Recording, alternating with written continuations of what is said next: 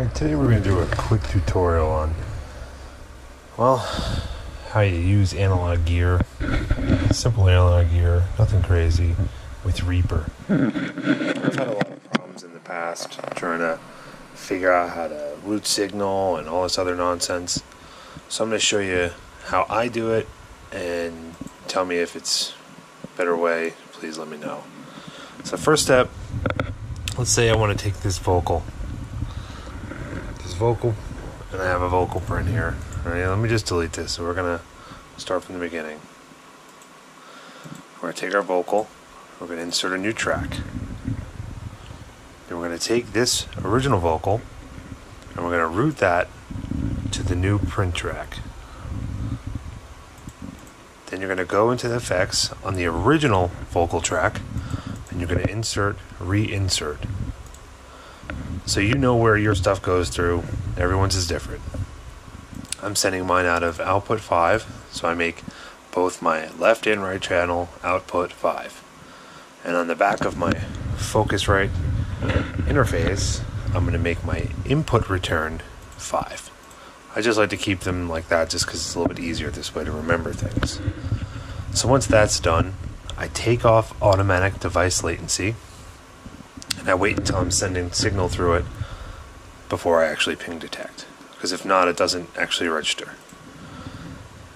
Then on the new track, I right click on the record arm button and I remove monitor input. I right click again and I input monitor track media when recording. After that, so it's kind of a process. Then I go to input selection I record output mono, not latency compensated, just mono. This seems to work for me no problems.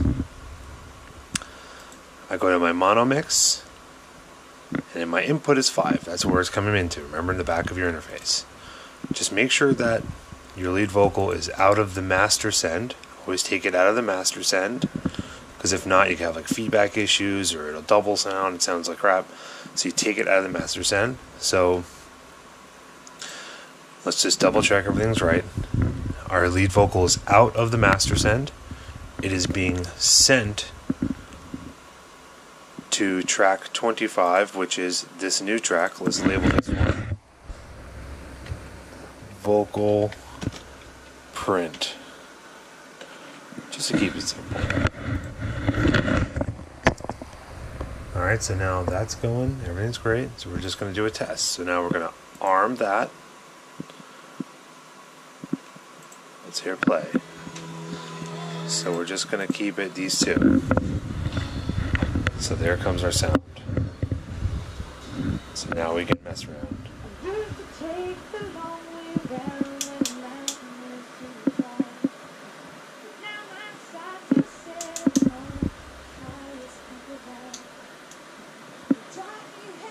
Now I've tried it all different other ways with with um, Reaper, and this is the only way I get it to sound good.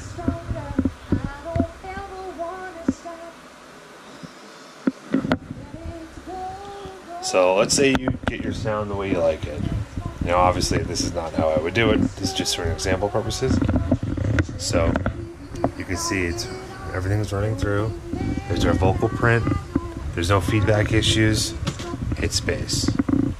I go to the back. Let's say you like it. I go to my FX, ping detect.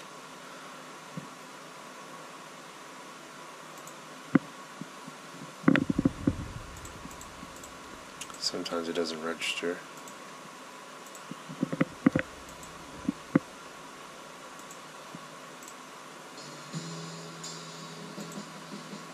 Alright, so that was ridiculous.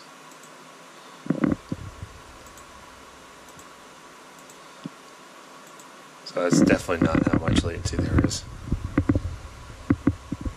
Alright, let's just say that is. As long as you just uncheck automatic device latency, you shouldn't have any problems. And you do your ping detect, it'll send a signal through it.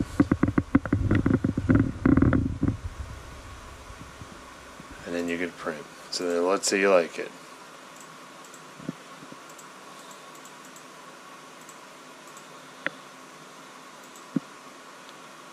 I see. I, that's probably why.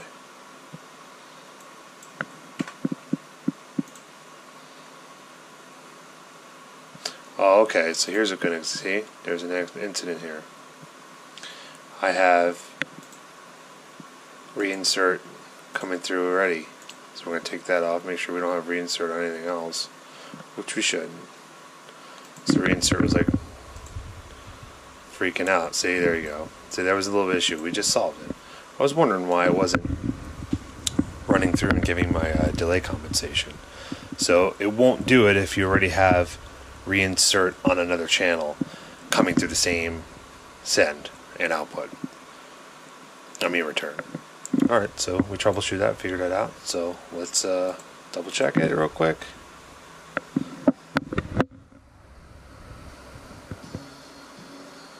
Alright, cool. Alright, so simple, go back, record.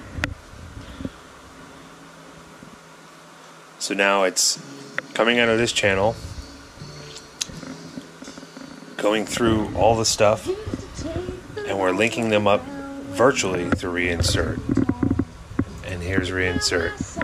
And then I try to gain match them as best as I can. I mean, right now this is just for example purposes, just so you can figure this out. This took me forever to solve, and it was very stressful trying to figure out how to get my my equipment to work and how to print it and all this other stuff. And really, it was mostly this monitor input option.